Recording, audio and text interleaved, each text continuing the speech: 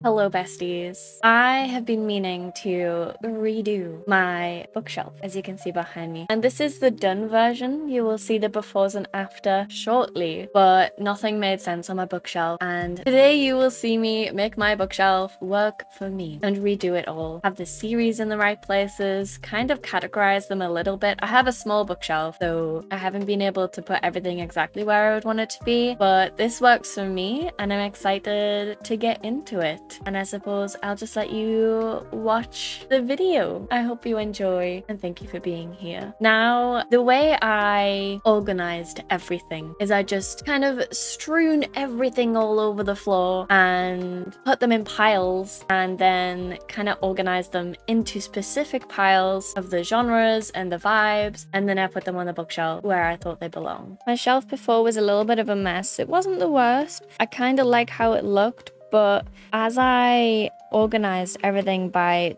color basically and vibes, things just got messy and I was just trying to fit things in where they would fit in the end. It just needed a bit of a reorganization, a little bit of a shuffle. Um, and so I started with all the stuff on top of the shelf because I really wanted to redo this upper part and hopefully have it as more of a bookshelf along with my trinkets and plushies because I do love that kind of thing. Reading has slowly become my, well, I say slowly, has quickly become one of my favorite hobbies, and I absolutely love collecting books and being able to put them in a gorgeous bookshelf and look after them. And honestly, I change my bookshelf around every few months because it's just another hobby, you know? One hobby is reading, the other hobby is buying books and trying to put them somewhere. As you saw before, I had a pile of books on the floor because I didn't have anywhere to put them. Luckily, with all the rejigging of this bookshelf, I was able to make them fit somewhere,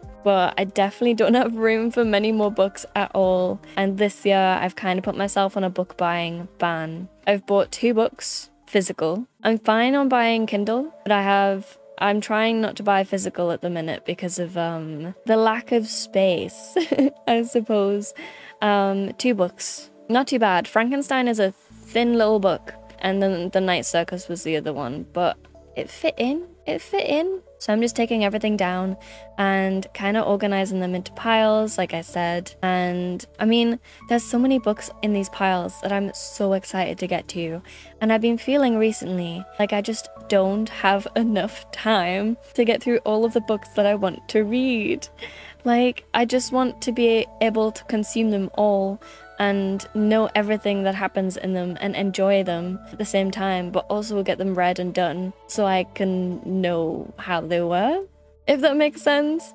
I've been craving just reading all of them at once. And obviously that is not viable. So I'm I'm chipping through my TBR slowly. It's a struggle when you're reading series. Like at the minute, I'm reading the Crescent City series, and I need to reread the first two books so I can even remember what's going on so I can start the third. That's kind of what's going on. And I reread ACOTAR last year and then Throne of Glass at the beginning of the year. I've been craving rereading the Dark Academia reads, especially Secret History and If We Were Villains, you know, the iconic two. I have a bunch of like literary fiction books down here that I haven't gotten to, which I really want to get to at some point, but I just haven't been in the mood for it. And I've also got a stack of classics that I haven't started yet. And so I wanted to put them somewhere where I could see them because this was my TBR cart. And as you can see, it's the bottom layer of the cart. And I never looked at those books. I never noticed them or reached for them. So I need everything on my one bookshelf to figure out what I need to read and be able to go through. I'm very much a, a mood reader as well. So it can be tough when reaching for books because I have to be in the mood to read them. Um, and that can be really annoying sometimes. But um, having them all available and organized will really help with that, I think. And that was really sad with it falling over. But we move. Book stacks are going to be stacking it, I suppose. While we're here, we may as well do a little February reading wrap up of everything that I read in February, and I read a lot. So I suppose we'll just get into that. I read 10 books, and the first one of the month, we'll go from the beginning to the end of the month, was Elektra. Now, I loved Elektra. I love Greek mythology, and I love that we are recentering women within these Greek myths. It is about the House of Atreus, the cursed bloodline story, and it features Clytemnestra, which is the sister of Helen, wife of Agamemnon, Cassandra, who was a princess of Troy and cursed by Apollo, and she was a seer, and then Electra, who was the youngest daughter of Clytemnestra. And this was such an interesting story, and I had heard the original myths in passing, but not in detail, so it was really interesting to read this and become acquainted with the myths this way. The next one was Cursed Crowns, and this was the sequel to Twin Crowns. This series is just really fun. It had me kicking my legs and giggling the whole way through. It's a really fun time. I then read House of Earth and Blood, and I have been, as I mentioned, rereading this series so I can read the new book that came out. Five stars. I cried. Oh, my third reread. Always loving it. Then I read Gothikana, which I gave four stars. I love a dark academia adult book. It had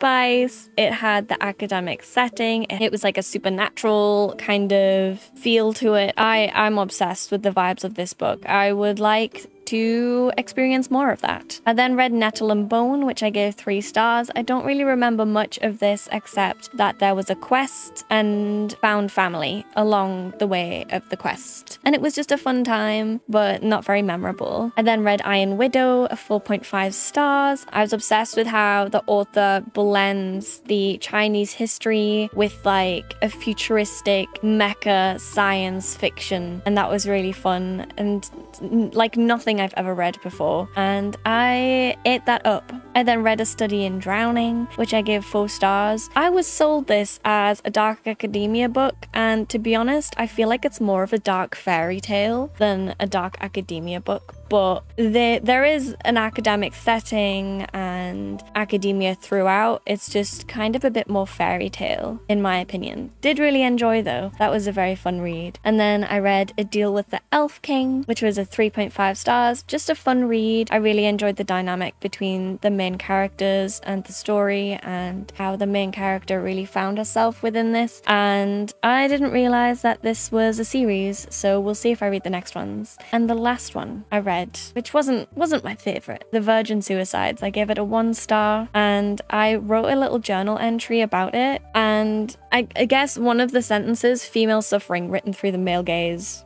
kind yeah. Yeah, didn't enjoy, wouldn't recommend. I know it's like a cult classic, but not for me. We are getting to the end of organizing these shelves, and I'm very, very excited. February was a great reading month, and also amazing because I got to reorganize my bookshelf. I'm just adding in the little finishing touches. A lot of these books down here I have not read, and a couple of them are ARCs because I found some ARCs in a charity shop. I've got these Hollow Vows and Shadow and Bone, the ARCs, which is very exciting. And I wanted to work on my top shelf, and of course, I needed to have a Greek mythology area mixed in with classics. I feel like that really worked out nicely and they fit so well. It's nice to finally have a place to kind of display them all. And then I have my special edition books right next to them. I also have this little reading cart that had like the empty bottom shelf. The rest of it's used for like journaling supplies and stuff. And I just filled it with my non-fiction stuff and spiritual books because I thought that worked quite well. I needed a place for these books. And here we are, the final piece, the beautiful bookshelf. We have my classics and my Greek mythology at the top alongside the beautiful special editions and all of my little trinkets on the top with the plushies. Then have my fantasy section below that, which I love. Favorite shelves. Then my dark academia slash thriller, psychological thriller kind of area. I know there's like other things mixed in there, but just let me have it. I don't know where else they would go. I then have my literary fiction and stories based off of things on the next side, and then more kind of literary fiction and then YA fantasy at the bottom, I think. But I love it. Let me know what you think in the comments, and I hope you enjoyed this video. Thank you for watching. Please like and subscribe if you enjoyed, and I shall see you in the next one. Bye!